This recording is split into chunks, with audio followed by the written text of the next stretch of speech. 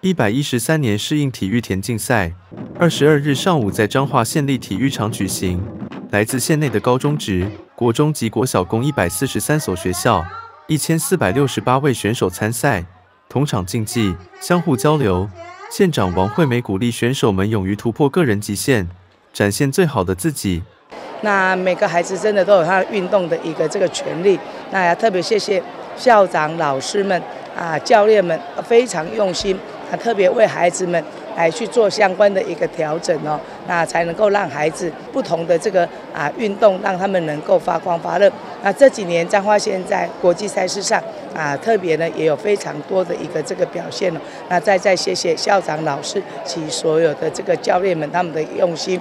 那也期许我们所有的选手都能够突破自我，再创佳绩。